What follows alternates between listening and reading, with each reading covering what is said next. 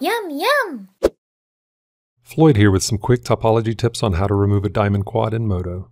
There are several ways to remove a diamond quad. Let's take a look at three options.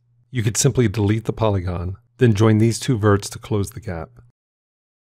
Or you could select the polygon, press Shift T to triple the quad, then collapse the center edge.